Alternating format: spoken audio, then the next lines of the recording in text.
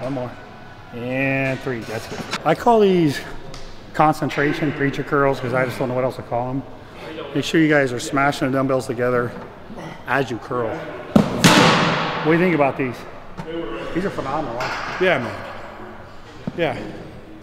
Holy, these are phenomenal.